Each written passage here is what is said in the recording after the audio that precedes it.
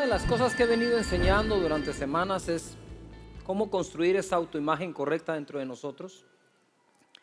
Y la otra que hemos enseñado es que somos herederos de Dios, coherederos con Cristo. Después de la vida, lo que Dios nos dejó fueron promesas. Cuando Dios nos hace promesas, tú tenés que estar muy consciente de que es Dios el que la está haciendo y que tiene todo poder para cumplirla. Yo me tomo con personas que, les han dado una palabra profética, ¿verdad? ¿Qué hacer cuando alguien te da una palabra profética y sí fue Dios? Descansar, tranquilos. ¿Por qué? Porque si Dios lo prometió, que mire Dios qué hace para cumplirlo. No sé si me estoy explicando. En eso he descansado yo los últimos, ¿qué? 39 años que tengo que creer en el Señor. Decir, bueno, sí, Señor, si tú hiciste la promesa, tú sabrás qué hacer para cumplirla. Pero tú no fallas y tú no mientes. Y dice la escritura en 2 de Pedro capítulo 1, verso 3, podemos leer, como todas las cosas que pertenecen a la vida, las cosas que pertenecen a qué? A la vida y a la piedad nos han sido dadas, ya nos fueron dadas por su divino poder. Dios tiene poder para darnos las cosas que pertenecen a la vida mediante el conocimiento de aquel que nos llamó por su gloria y excelencia, es decir, Jesús. Cuatro, por medio de las cuales, las cosas que nos dio, nos ha hecho preciosas y grandísimas promesas. Todo el mundo diga fuerte, grandísimas. Que aquí fue donde me quedé. Una segunda vez, grandísimas. Debes comprender eso. Son grandísimas promesas. Ahora, cuando Dios es el que te dice, te tengo grandísimas promesas, porfa. La pregunta es si de verdad crees en Dios. ¿Cómo sé que creo en Dios? Porque le creo a Dios. Nota la diferencia. Tú puedes decir que crees en Dios. La pregunta en cuestión es, ¿le crees a Dios?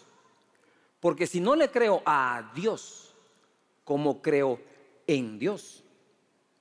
Por eso es que Dios nos da promesas para que le creamos a Él y así demostremos que creemos en Él. Y ojo, si tú le dices a alguien, mira, yo voy a llegar, mm, no le creíste a Él, lo que significa que no crees en Él. Por eso Dios nos da promesas, para que se vaya aumentando la fe en Él gracias a creerle a Él. Así que Dios te dio grandísimas, grandísimas, grandísimas y preciosas promesas. ¿Qué más puedo pedir? Dice la Biblia que somos herederos de Dios, coherederos con Cristo y lo que heredamos fueron las promesas. Allí me quedé la última vez, ahora continúo. La bendición que bendice todo. Entonces Isaac llamó a Jacob, estoy en Génesis 28.1, y lo bendijo. Ojo, Isaac llamó a Jacobo, recuérdense, es Abraham, Isaac y Jacobo. Jacobo es el nieto. El papá llamó al hijo que es el nieto, ¿me expliqué? Jacobo es el nieto. Y lo bendijo. Todos los padres de familia, levanten las manos, por favor. Levanten las manos y diga conmigo, mi tarea en esta vida es bendecir a mis hijos. ¿Yujo? Es bendecirlos. Bendecirlos es decir bien.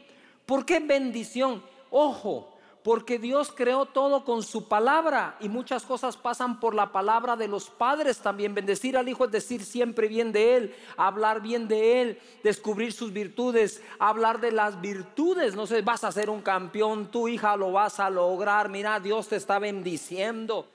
Entonces lo bendijo y después dice acá, mira, y le mandó. Ahí es donde la cosa se traba un poco, ¿va? Porque los hijos quieren ser bendecidos, pero no mandados. Segundo versículo, levántate, vete a Padam Aram, a casa de Betuel, padre de tu madre, y toma allí mujer de las hijas de Labán, hermano de tu madre. Ojo, y el Dios omnipotente, el Dios omnipotente te bendiga y te haga fructificar y te multiplique hasta llegar a ser multitud de pueblos y te dé la bendición de Abraham a tu descendencia contigo. Para que heredes la tierra en que moras que Dios dio a Abraham. Quiero nada más enseñarte esto. El, el, tema estaba delicado con Jacob y su hermano. Jacob estaba amenazado de muerte por su propio hermano. Tenía que salir de allí. Y en medio de esa circunstancia, lo que hace su padre es bendecirlo. Y ojo acá, no le dijo, como muchos de ustedes dicen, que Diosito lindo te bendiga. No, no es Diosito lindo, dijo que el omnipotente, el todopoderoso, el que es capaz de hacerlo todo, que ese te bendiga. Porque él necesitaba una palabra de, este, de esta naturaleza. Él estaba quedándose absolutamente sin nada del día a la noche o de la noche al día. Sin nada, nada Jacob, nada de nada. Pero le dice, el Dios omnipotente, hijo, poneme atención, hijo, yo ya te bendije, pero el Dios omnipotente te va a dar la bendición de Abraham, mi padre también. Ahí reaccionó Jacob. ¿Por qué reacciona ahí Jacob? Porque, wow, yo he visto a mi abuelo lo bendecido que está. Y conozco lo bendecido que está mi papá. Y mi papá me está diciendo que ese mismo Dios, el que todo lo puede, el que todo lo pudo con mi, con mi abuelo Abraham y mi abuela Sara, que no podían tener hijos, mi papá tampoco lo podía tener, con esa bendición voy a ser bendecido. Mi papá salió sin nada de Ur de los Caldeos y fue un hombre próspero y bendecido. Y mi, mi papá, mi abuelo y mi papá Isaac le cerraban los filisteos los pozos y él decía, abran un pozo aquí, salía agua, abran un pozo allá, salía agua, quédense con ese pozo, yo abro otro pozo donde paso hay agua. Uy, dijo, el Dios omnipotente me habrá bendecir. Y hoy estoy aquí para decirte que el mismo Dios de Abraham, de Isaac y de Jacob, el Dios omnipotente, te bendiga a ti y a tu descendencia. Pero tenés que hacer conciencia de esto. No es un dicho, no es mero hablar, no es casaca. Es como que te hicieran una transfusión de sangre que de hecho te hicieron una de espíritu. Quisiera hacer con todo respeto que la mentalidad evangélica como tal no sea, sea, no sea llevada a otro nivel de que la mentalidad que tenemos es ser de hijos de Dios nacidos de nuevo por su espíritu, bendecidos por el Dios omnipotente. Punto. Y caminar en eso. Jacob, me pregunto, ¿salió sin nada? ¿O en realidad salió con todo? Salió con una mano adelante y una mano atrás, pero salió con la bendición de su padre y la promesa que sería bendecido con la bendición de Abraham. Génesis 28, 10. Salió pues Jacob de Berseba y fue a Arán y, llegó a, un cierto lugar y durmió allí porque ya el sol se había puesto. Y tomó de las piedras de aquel paraje y puso a su cabecera y se acostó en aquel lugar. Por favor. Mira, si nosotros lográramos usar la imaginación, si fuéramos productores de cine, de hacer una película, escritores de una novela, y pudiéramos nosotros describir lo que está pasando con Jacob, amenazado de muerte, no tengo nada, de la noche a la mañana tengo que salir corriendo, voy, el más, él le dijo a Dios, si tú me das pan para comer, vestido para vestir, es porque ni vestido llevaba, solo una prenda.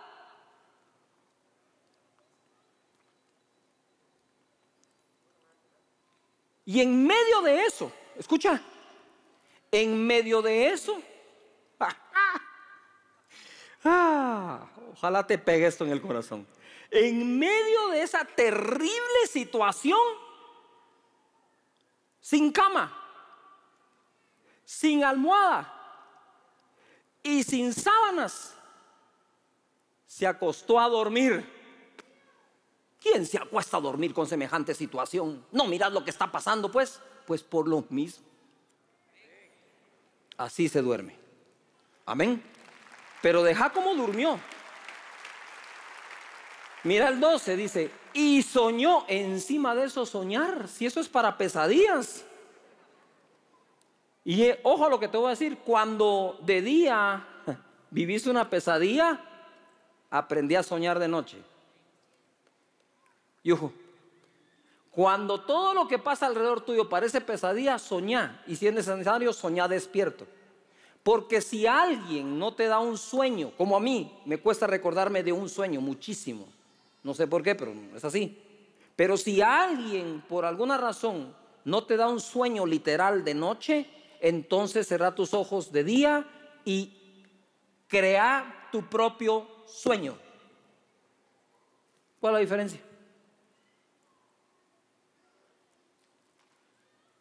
Dice acá, Soñó y aquí que una escalera estaba apoyada en tierra y su extremo tocaba el cielo y aquí ángeles de Dios que subían y descendían en ella. Y aquí Jehová estaba en lo alto de ella, el cual dijo, yo soy Jehová, el Dios de Abraham, tu padre, el Dios de Isaac, la tierra en que estás acostado. ¿La tierra en que estás qué? Acostado. ¿Qué significa eso? Estás confiado, ¿Te imaginas cómo Dios vio a Jacob en medio de todo eso? En la tierra en que estás acostado te daré a ti, a tu descendencia. Será tu descendencia como el polvo de la tierra y te extenderás al occidente, al oriente, al norte y al sur. Y todas las familias de la tierra serán benditas en ti y en tu simiente. Justo cuando pensaba que lo iban a matar, Dios le dice, no te van a matar, te voy a multiplicar. En vez de morir, te van a hacer descendencia.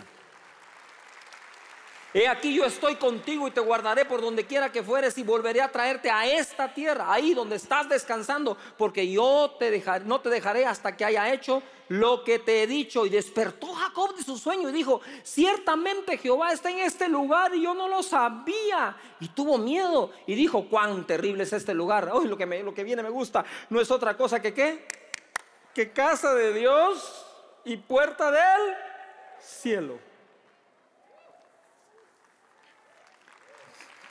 Parece ser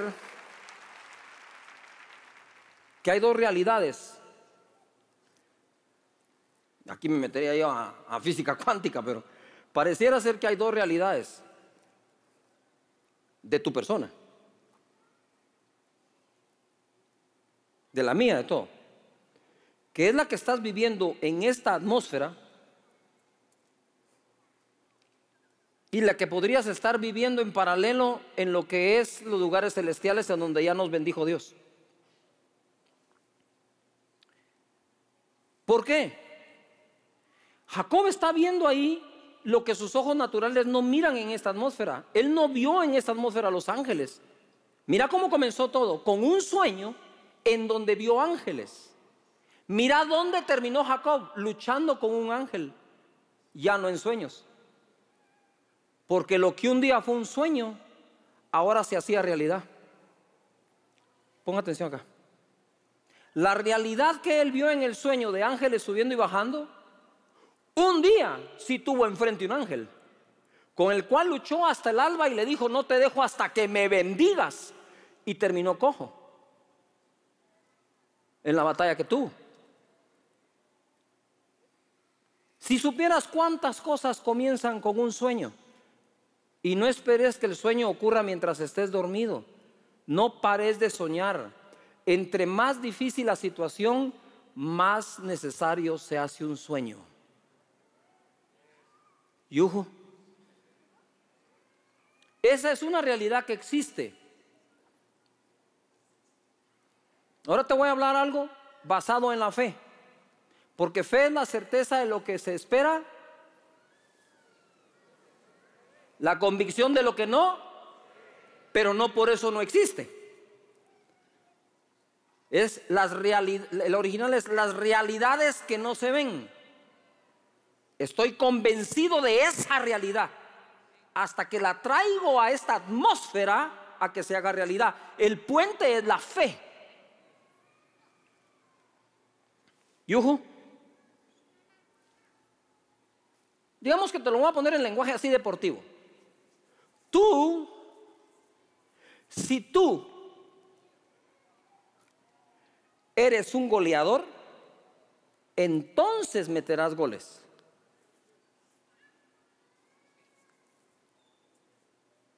La gente mete goles para llegar a ser goleador. No.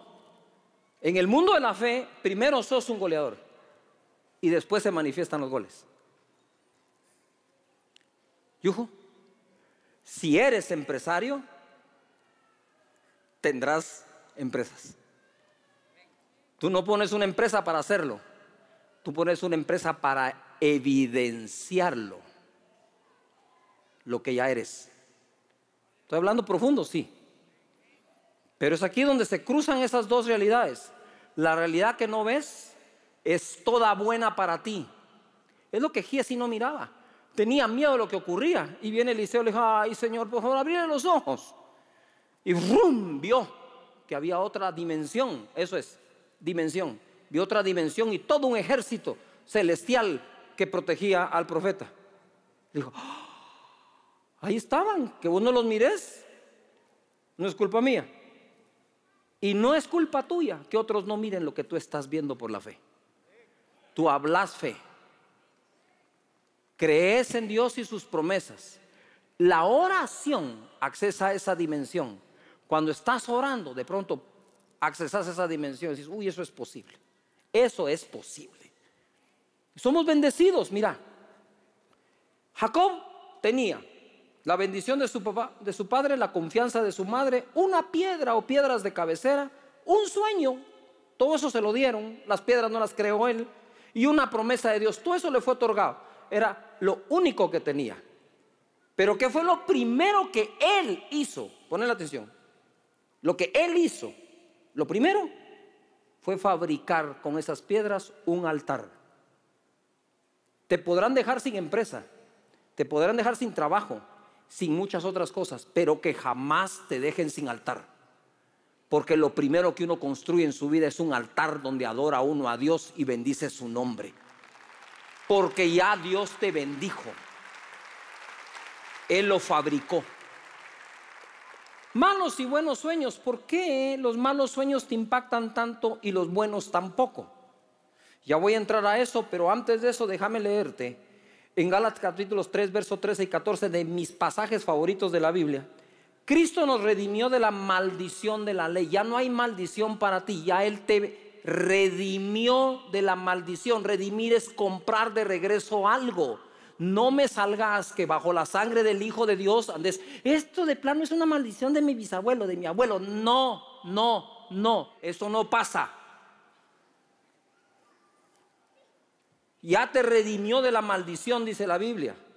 Hecho por nosotros maldición, porque escrito está, maldito todo el que fuere colgado en un madero. 14, a ver, para que en Cristo Jesús la bendición de Abraham alcanzara a los gentiles, es decir, entre otros, la bendición de Abraham alcance a los chapines.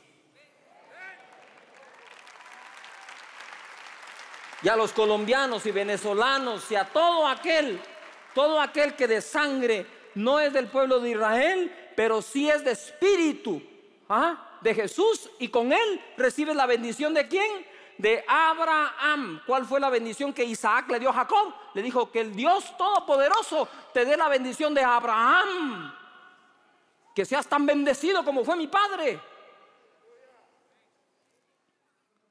Dice la Biblia, Hebreos 11:3, por la fe entendemos haber sido constituido el universo por la palabra de Dios. Ponga atención, de modo que lo que se ve fue hecho de lo que no se veía. Vayámonos millones de años atrás. No existe nada, está Dios y tú estás ahí a la par porque Él ya te había creado solo para que mires. No hay nada, solo Él. Y dice él, que se hagan los volcanes. ¿Aparecieron así nomás? ¿O ya existían aquí dentro de Dios? ¿O salió por casualidad? Él dijo, háganse los mares y ¡ay! Agua. ¿Qué es eso? No sé si me explico. Y ojo, Porque todo lo que fue hecho, el universo, que se ve, fue hecho de lo que no. Que no. Que no. Tú tenés que descubrir qué de ti todavía no se ve. Y por la fe se verá. Y lo verán. Tienes que aprender a soñar aunque todo parezca lo contrario. Créeme que la realidad que hoy ves no es más poderosa que la realidad que no ves.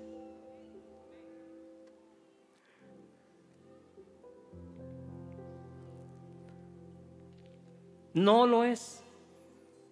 La que no ves es más poderosa que la que ves. Y si la que estás viendo no está muy buena, que la que no ves que es buena le caiga encima a la que estás viendo.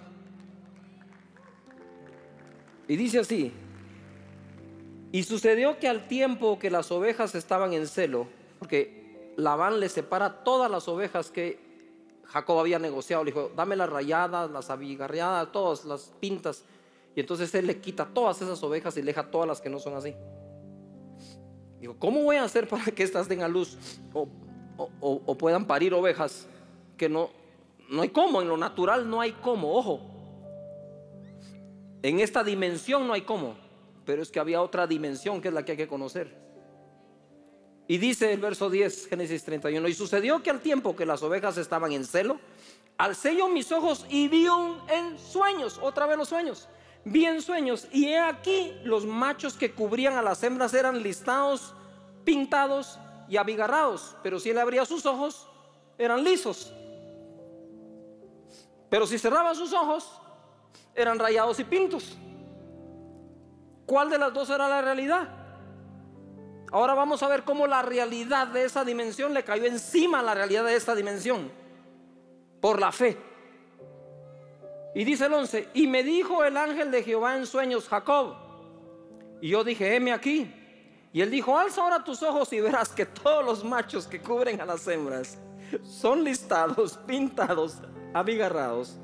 Porque yo he visto todo lo que Labán te hizo. No importa cuánto daño te hayan hecho. No hay quien te pueda apartar de la bendición que Dios juró que te daría. Y es para ustedes esa palabra también. No importa cuánto daño te hayan hecho, Dios lo vio. Pero Labán no gozaba de la bendición que gozaba Abraham. Levanta tus manos y di conmigo, Señor, te doy gracias, porque en Jesús tengo la bendición de Abraham. Y así voy a caminar. Voy a vivir y trabajar. Amén.